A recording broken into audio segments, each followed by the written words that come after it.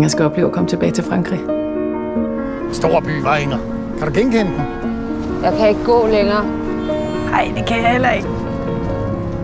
Bonjour. Bonjour. Hvordan blev du så tosset? Det var nok, fordi jeg blev forelsket. Det var en, der hed Jacques. Han var meget ældre end mig. Men han var enormt god i sengen. Han havde... Christian, kommer du tilbage. Kom så her. Nu. Har du brug for hjælp, Inger?